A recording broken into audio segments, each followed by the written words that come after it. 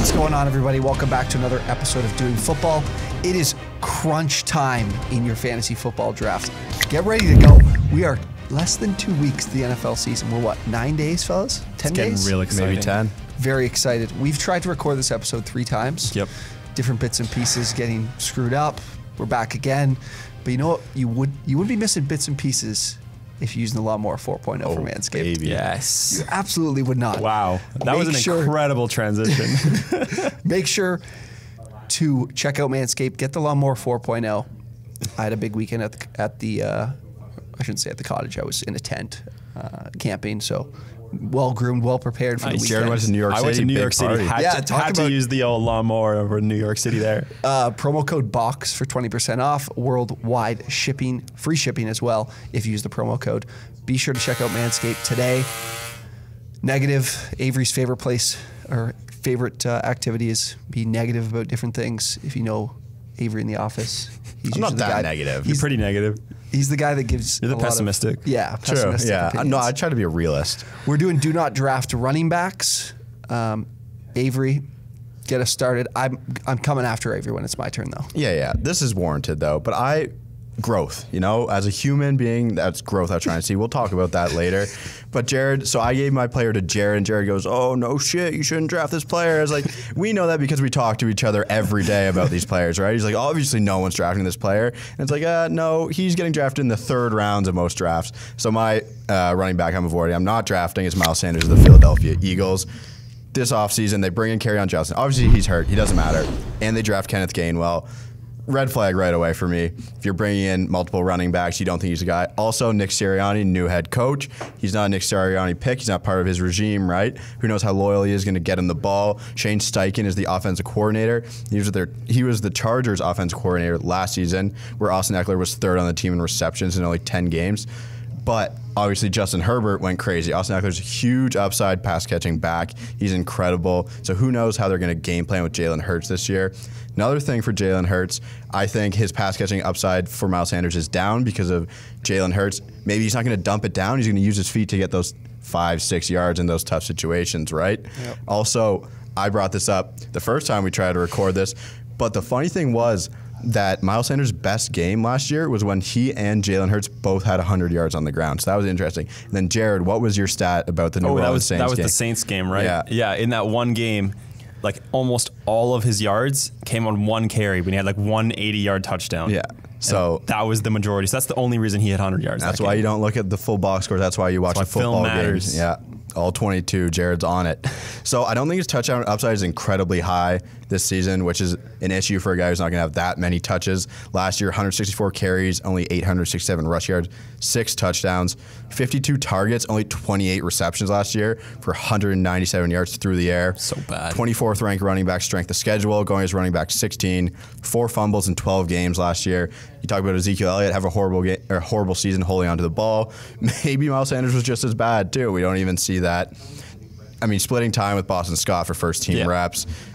Yeah. He doesn't have league winning upside, in my opinion. I don't know everything, but from what I've seen, I don't think. he But you do know upside. something. I know enough, and I'd rather have David Montgomery and James Robinson at this point. Yeah. I what do you think agree. of? I was I'm just thinking of this while he was talking. What do you think of the comparison between Sanders and Gaskin? I feel like there's no way that Sanders has at a point comes to where he's in the backfield alone, like just workhorse. You know, people are talking about Malcolm Brown, Salvon Ahmed for Myles Gaskin, but I bet you there's a better chance that Myles Gaskin is alone in that backfield as a workhorse than Miles Sanders. Is. I would take Yeah, him I can see the hundred same times out thing. of hundred. I think. Yeah, and and then we have the the factor of Jalen Hurts when he was on the field running the ball hi- more than Lamar Jackson did last season. Yeah, and that out there, means so. no dump off passes because Hurts is going to take it for himself. Yeah. And it doesn't help that Sanders just sucks at catching the football. like he was atrocious last year. Some of the like drops he had were just disgusting. Yeah, keynote like Avery said, it's not it's not Nick Sirianni's guy. It's not Yeah. his guy. So It's like it's like college football, you know, when you when the coach gets in there and after four years it's finally his guys. That's what this is like. I don't think it's his guy there. yeah, Definitely not his guy. Gainwell's definitely interesting. The Memphis, Hey, give Memphis me Mem- pass catchers. give me Memphis running backs, Yeah. and I can build you a Super Bowl winning team. Yeah. That's for sure. Not that they've been on a Super Bowl winning team recently, but we can build one. All right, let's not get carried away with Gainwell here. He's still what a fifth round running back. I, I'll, I'll have to say this for people that you know before we got into YouTube. I would have sang the praises for on Johnson on this if we had a show here that year that he was drafted. Oh, yeah. Like nobody's Few business. back. Love Me that guy. I would have been the same. but it didn't work out, and I don't think it. I I don't think it's going he to got fantasy cut. wise. He got cut. He's not even on the Eagles anymore. Yeah, I think he Oh, he was. got cut? He was Yeah. like injury waived or something. Oh, I- okay, okay. I don't think he's with them anymore. That's what I said. Yeah. I'll save the best for last, Jared. So All right, ahead. yeah, let's move on. My guy, it's a bit of a hot take to say not to draft this guy. It's Jonathan Taylor of the Indianapolis Colts, currently going off as the running back seven, ADP of 7.2. Now, Taylor was absolutely elite at the end of last season. Over the last five games, he averaged 26 PPR points, 19.4 rushing attempts, 1.4 touchdowns, and 130 rushing yards per game. Like, this guy was tearing up defenses throughout the last bit of the year. But if you look a little deeper, look at who he actually played in those weeks, you can understand why. He had the Texans, the Raiders, the Texans again, the Steelers, and the Jags. So that's a pretty easy slate of games there. And even in that slate, like there was still some aspects of his game that I like didn't really like. Like you look at receptions, he only averaged two receptions per game in those in those five weeks. That's not his thing for sure. Yeah, It's like not his thing. he and Hines is still there. Like he's they're not going to phase Hines out of the game because Jonathan Taylor is a good runner. Hines is still going to be a great pass catcher, so they're not going to give Taylor that passing work that you need for that league-winning upside running back, and that's what you want with these first-round running backs. You want somebody who's going to give you league-winning upside, and that's not all. His his schedule this season is tough. Like when I was doing my Indianapolis Colts season preview, I never realized how hard this season is going to be for him. He has the Seahawks, the Rams, the Dolphins, the Ravens, the 49ers, the Bills, the Bucks, the Patriots, the Cardinals, and the Titans twice. That's 11 of the 17 fantasy weeks right there against teams where it's going to be either a shootout or a tough defense they're playing up against, which means not very many carries, yards are hard to come by.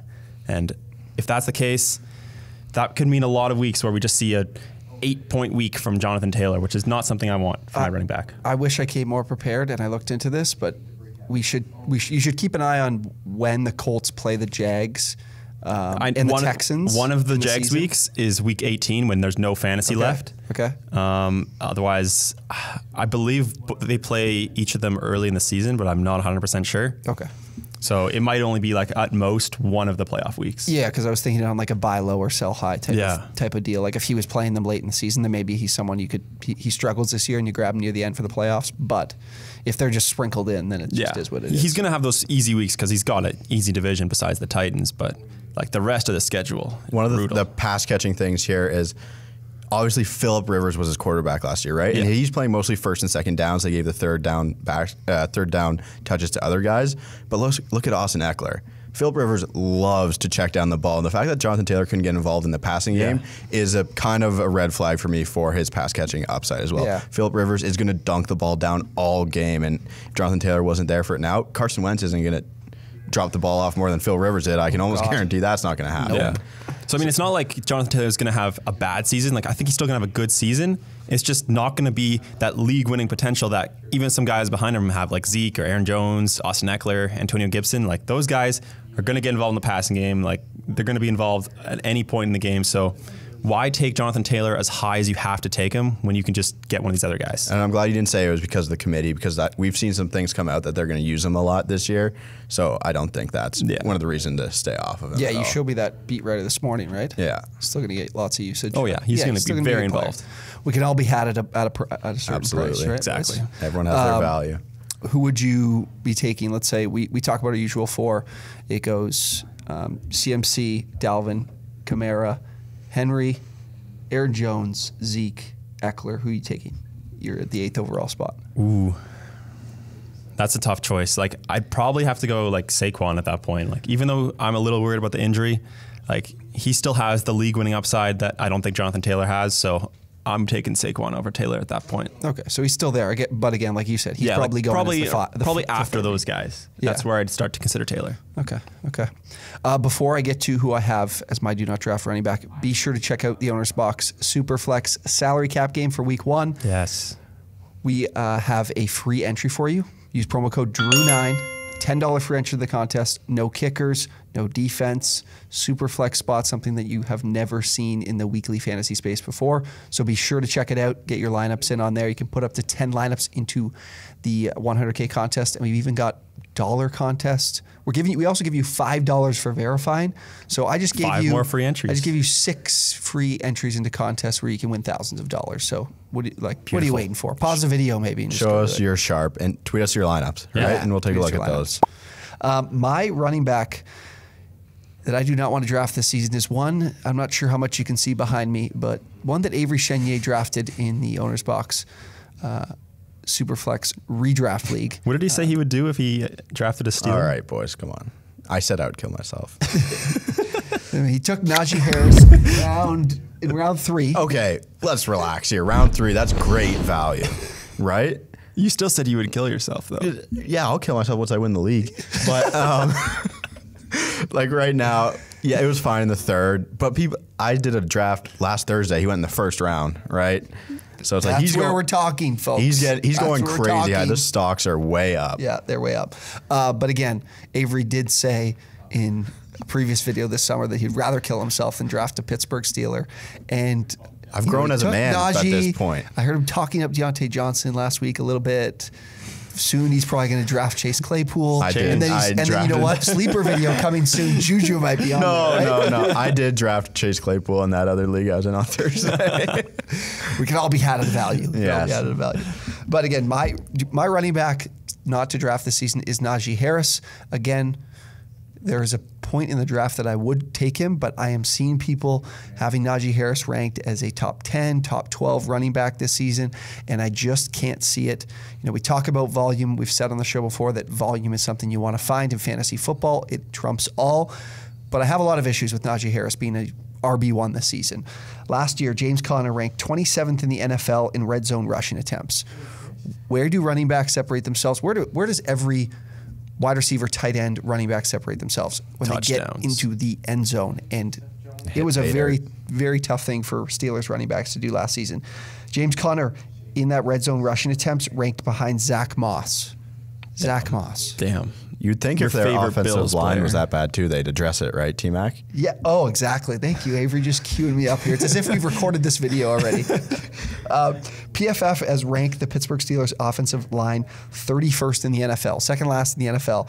It is a fucking disaster. Yikes. Apologies if I mispronounce your name, friend, but uh, Chukwuma Okafor or Okorafor moves from light, right to left tackle. Okay, T Mac, what's the most important position on the offensive line? it might be on the entire field. If the quarterback is left tackle. Left tackle, most important. So, Jared, there are 84 eligible tackles for ranking in PFF. Get, guess where this guy ranked? 73rd. 74th. Damn it. I after three tries, I still couldn't get it. 74th in the NFL among all tackles, and they moved him to the most important position on the line. That is terrifying. Um, they lost to Castro. Pouncey retired. I think the Castro retired as well. Um, Feiler is on to the Chargers. They lost their three. I would say their t- three top players at the position, and they ha- their replacements are less than ideal. It, it, this offensive line is going to struggle this season. Um, and here, there's there's the issue with that, but there's also another thing that I have a problem with going back to that red zone rushing um, totals from last year. Last season, 58% of the plays the Steelers ran inside the five yard line were pass plays. Now you might look at 58% and say, well, that's you know that's not a crazy crazy amount. Well, ranked third in the NFL, and when you're at the two yard line or the one yard line and it's first down, second down you're very rarely throwing the ball. Like that that nearly never happens, but it happened a lot with the Steelers. The only teams that ranked behind them were the Bucks, um, who we know that what that running back situation was like. You know, Fournette really didn't come into his own until later in the season, really the playoffs, um, and then the Jags, who were just consistently playing behind and and needed to just throw the ball to to stay up with the clock. So for me, I mean, it's just it's a tough spot for Najee Harris. I think he's got a lot of talent. I like Najee Harris as a player, but he has, you know, playing in Alabama has always played behind a top five, top 10 offensive line unit in college. So this is something that he's never experienced before. And there, there are plenty of players I'd rather look to than Najee Harris, considering where he's starting to be drafted. You know, a guy like Antonio Gibson I like better. Um, Who else would I be rather have? Aaron than- Jones. Yeah, Aaron Jones. I'd definitely rather have than Najee Harris. Austin Ekeler for sure. Yeah, Austin Ekeler. Um, just just players who have you know are, are great talents, but also have a better system surrounding them and, and can move the ball when they're when they have their touches. So Yeah, I mean, just to counterpoint that a bit, like I think Najee Harris is like a good version of Joe Mixon. Like if Joe Mixon was good at football, it would be Najee Harris. I was just about to say, I could see him being inefficient as fuck, like Yeah. Joe Mixon is. Yeah. yeah, But, three like- point six yards per carry was Mixon right last year. Yeah, it was atrocious.